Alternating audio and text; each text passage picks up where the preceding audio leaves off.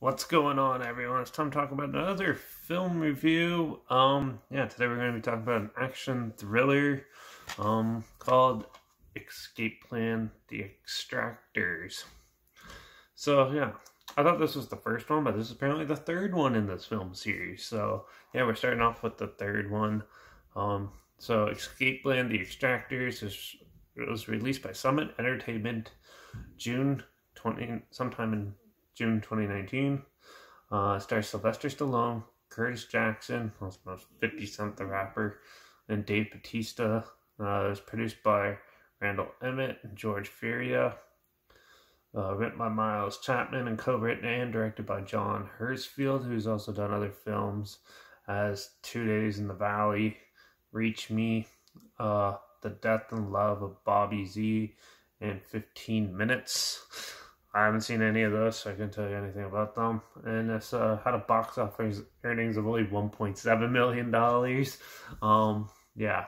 So this is apparently the third film in this film franchise now. Escape Plan was uh, Sylvester Stallone leads with team uh, gets put into these big prisons and uh, at least in the first two films, yeah, got put into those new prisons and see if he can escape out of them because he's a master escape artist and mercenary and stuff like that. And uh, yeah, so this one though is a little different. This one there is um, like a royal princess that gets kidnapped and they have to sneak into a high, an old prison and to get her back to her family. And uh, so he need, calls upon the help of his two buddies, played by Batista um, Dave Batista and Curtis Jackson. And Curtis Jackson's like the techie guy who helps him get his plot his route, and Dave Batista helps him find the help that he needs and go for Sylvester Stallone's character to go in and help extract the princess. But obviously things don't go as planned, and they run into problems on the way.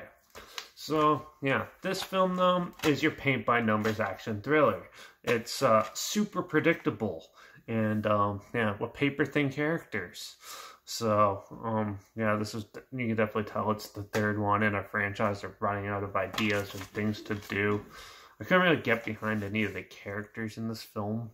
I thought they're all just like paper thin and loosely written and wasn't that entertaining. I thought it was more of a bore. It's a slower burn film, but definitely um, needed a little more spice put into it to make it a little more thrilling and stuff because there's only like two or three big fight scenes. There is a lot of random exposition talking and stuff in it and uh, that doesn't really go anywhere. They try their hardest to set it up and make it seem interesting, but it just doesn't go anywhere. And the side characters are pretty pointless in this.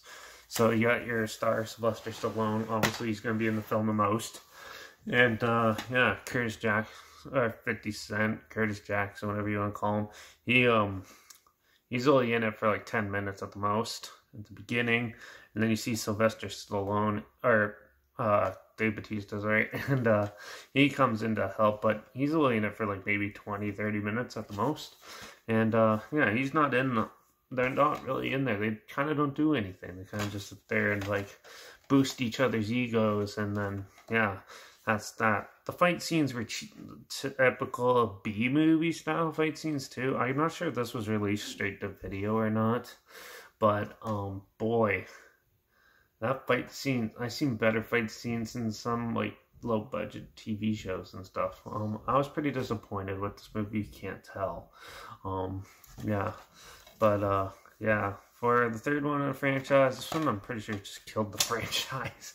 um, yeah, I'm was not a big fan of this. Uh, yeah, the action scenes. It's just paper thin and nothing new. It's just stuff you've seen before and uh, done to a less competent extent. Escape Plan, The Extractors, is not really worth your time, I'd say.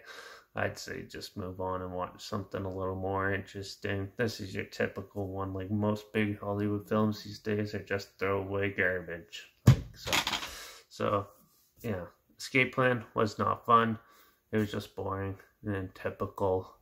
Um, paint by numbers action thriller. So, yeah, with that, I'm going to give Escape Plan the Extractors a one and a half out of five.